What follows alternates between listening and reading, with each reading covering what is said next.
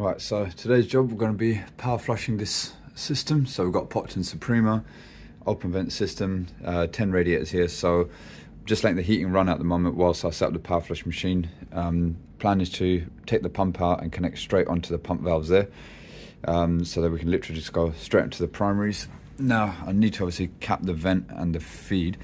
Um, just try and trace this pipe work back. So obviously we've got flow going into the pump, which is going up there and then this goes straight up there. Now there's only one 15 mil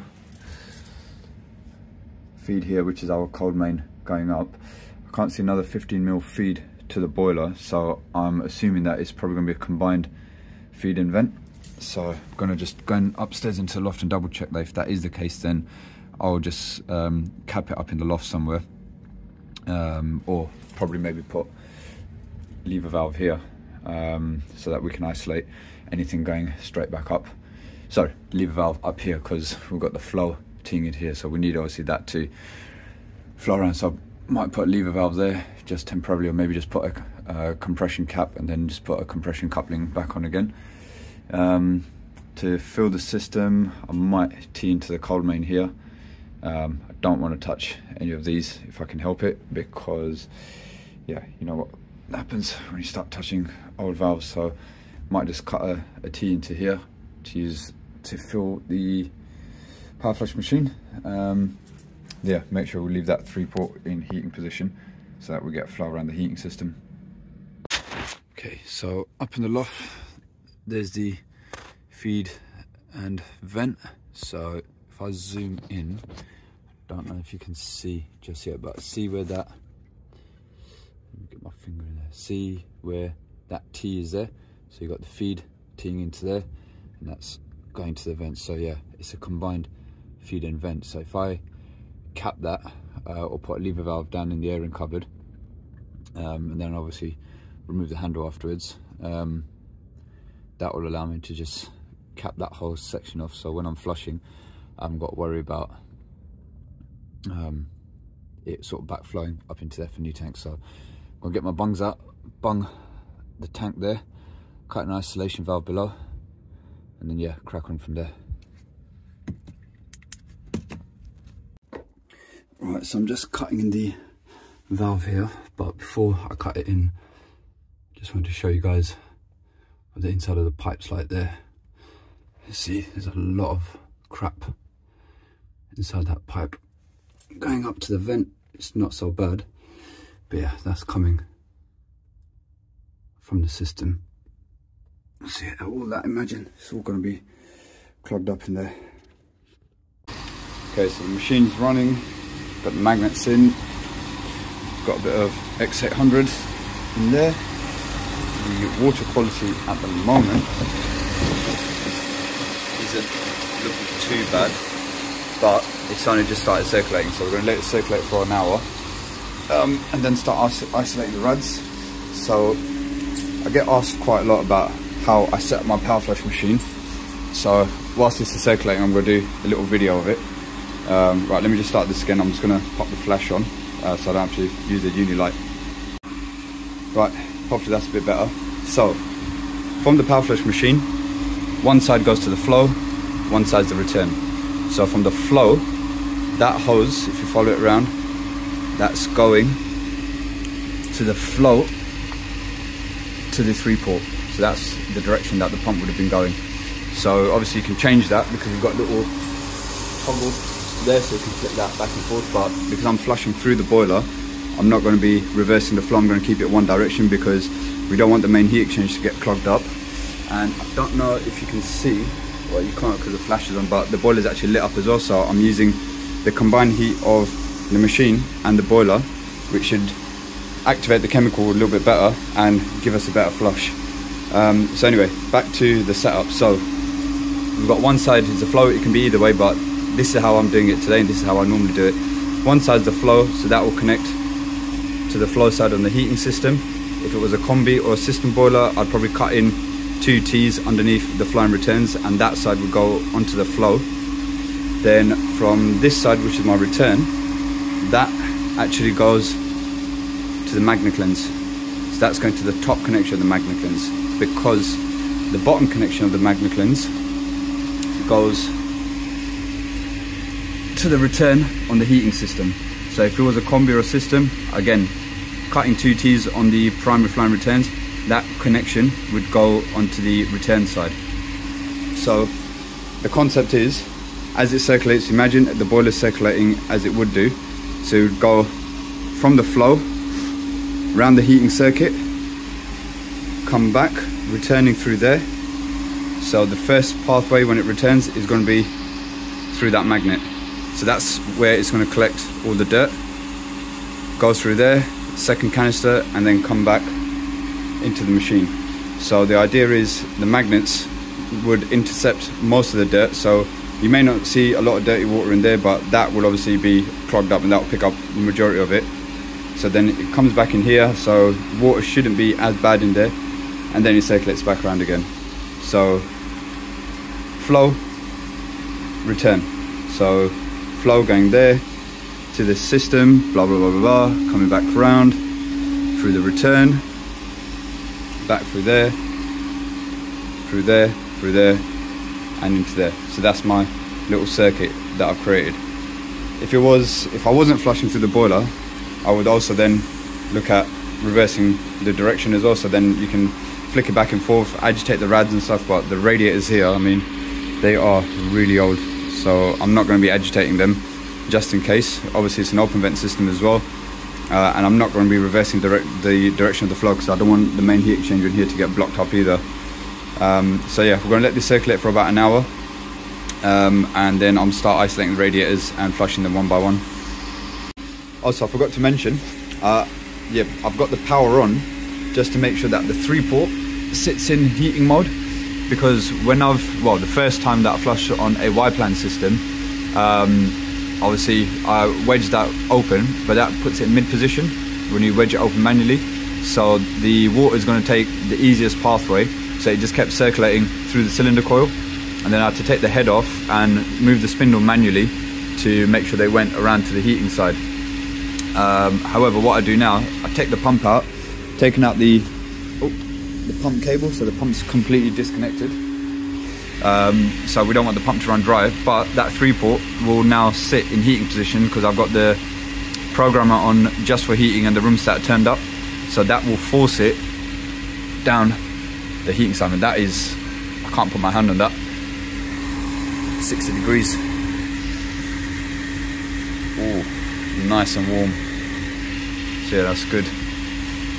And then what I'll do at the end is obviously I'll turn the heating off, turn the hot water on and let it just circulate through the coil to clean that up as well. Um, and then yeah, we should be good to go. Okay, so we're coming up to the hour. So I just thought I'd show you guys. So boiler's still running. I've actually turned the element off on here because that's actually running about just under 80 degrees. Um, just thought I'd go around with the thermal imaging camera at the moment to show you what we've got. So currently all the radiators are getting heat to all of them. So at least it proves that we've got our connections right. Flow and returns are all working fine. Oh. That one's hot as well. Got that one in the back there.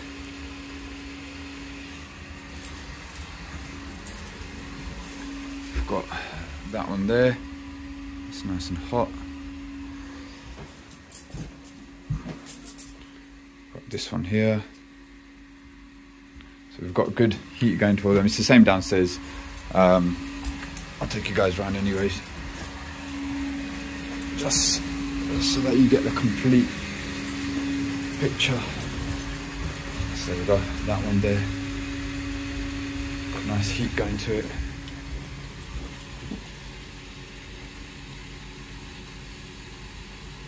Yeah, that one's hot. There's a hidden one sort of back there. That's getting nice and hot as well and so is that one. So yeah, gonna start isolating the radiators now because it's been an hour circulating the whole system. Everything's everything's getting nice and hot. um, and then start flushing the rads individually now. Right, so the five minutes is, I mean, not five minutes, um, the hour's up. We've finished circulating all the rads. I finished isolating all the radiators as well. Uh, and that's an update the colour of the water. So now I'm gonna flick that off. Uh, I'm going to isolate that. I've turned the heating demand off so the boilers shouldn't fire anymore. Turn that off.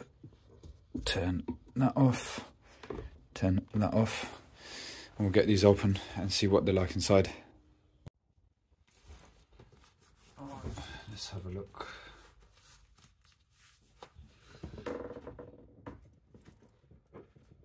Oh, that's hot as well.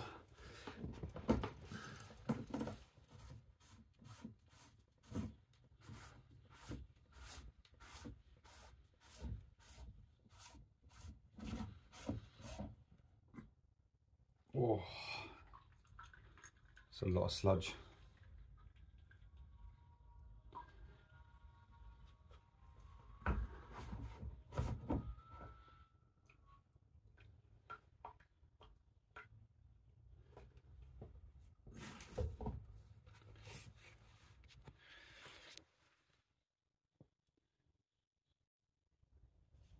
Pretty bad for 10 radiators and that is steaming hot.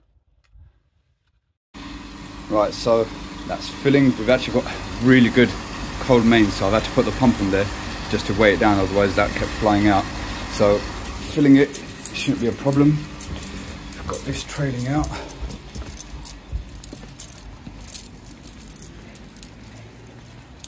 I'm dumping out here.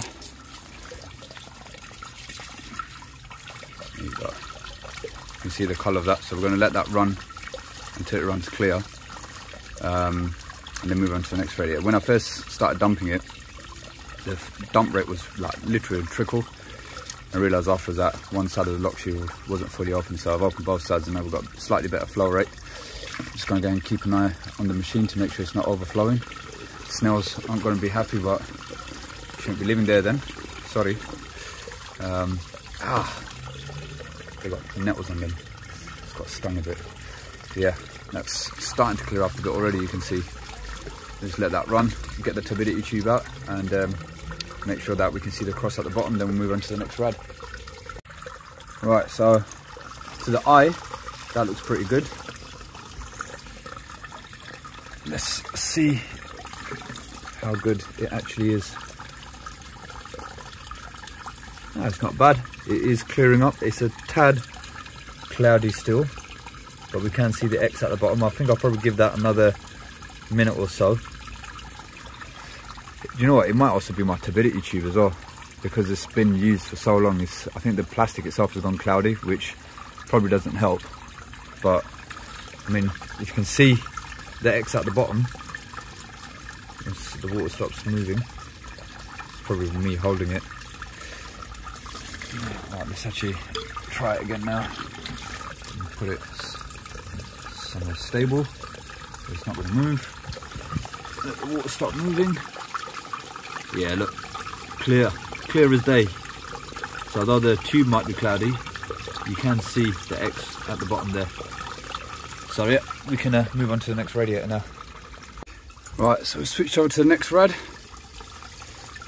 Let's see how long it takes for the dirt to start coming through on this.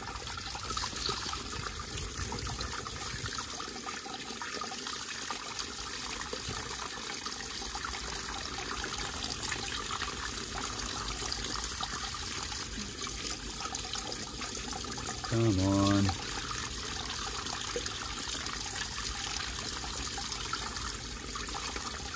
We can't see much dirt coming through. Right, I'm going to pause it and come back to it once it starts getting dark. Oh, here we go, here we go, here we go. Look at that. So this is the next radiator. So again, just gonna let that run clear. And then obviously test again with the turbidity tube. Once we can see the X, we can move on again. Right, so that's us doing the last few bits. You can hear it starting to run dry. all the radiators are done. I killed the power, so the three port moved into hot water position, so we just done the cylinder coil as well. And now, yeah, always use the bun tap because the water pressure in here was so good with the flow rate. It was spilling out there, it was overflowing, so luckily I had this in here.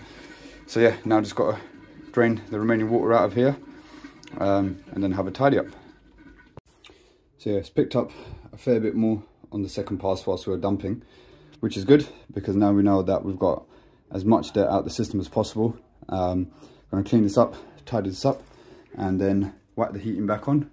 And we'll just go around with the thermal imaging camera again, just to make sure everything's getting nice and hot. Right, we are back up and running. Pumps back on. And now you can see uh, that's hot. We've got heat across all of there. Heat across there. Heat across that one.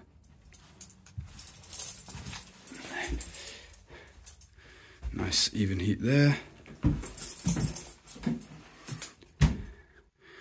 That one's good.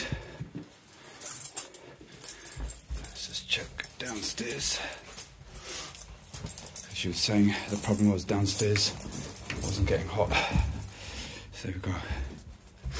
It's nice and hot. Nice and hot.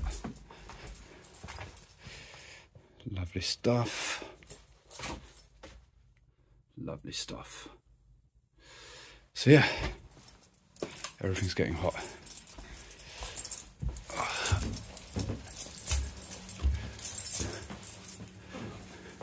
happy days. 10 radiator power flush, open vent system, done and dusted.